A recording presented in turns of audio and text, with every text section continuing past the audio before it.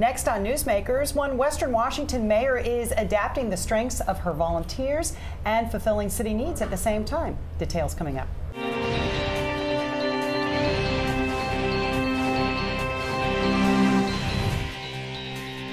Welcome to Comcast Newsmakers. I'm Sabrina Register. We're at the annual meeting of the Association of Washington Cities and the Tri Cities this year. And joining me right now is the mayor of Sultan, Washington, Mayor Carolyn Eslick. So nice to see Hi. you, Mayor. Thank Thanks you. for coming on the program and yes. joining us again. Thank you very much. A lot of people know about Sultan, have been to Sultan before, but some have not. So tell us a little bit about Sultan, where you're located, and sure. how many call it home. All right. Well, we're located on Highway 2, just east of Everett, about 20 miles. We're at the base of the Cascades.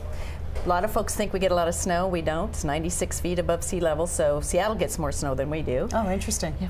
But we have about 4,500 folks that live in our little town of Sultan. And is it a town that's growing? It's or kind of steady with we're population. Pretty steady the last three years with the economy the way it is, but um, we're getting prepared because the growth is coming. The growth is coming. So you mentioned the economy. You said the economy the way it has been. Yes. So I take it that it's been challenging, it's been like it tough. has been in yes. many other cities. All, all across America, right. of course.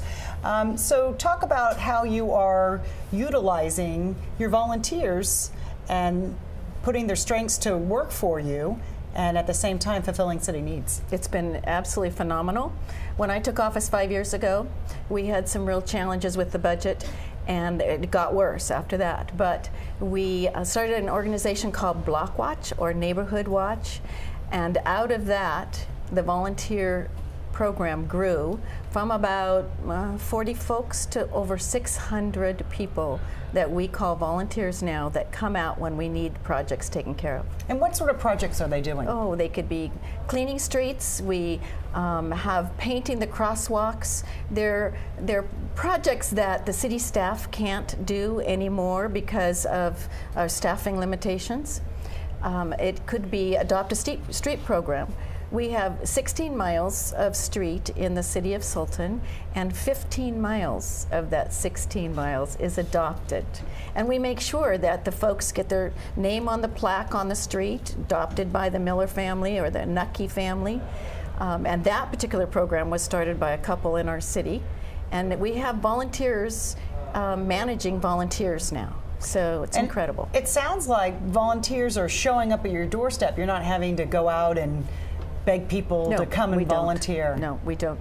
We, another big program of ours is the CERT program, which is a Citizens uh, Emergency Response Team. Mm -hmm. And we work with the fire department and the Department of Emergency Management and put on a class every year. And it's amazing how many people turn out to spend hours to learn what to do in case there's an emergency.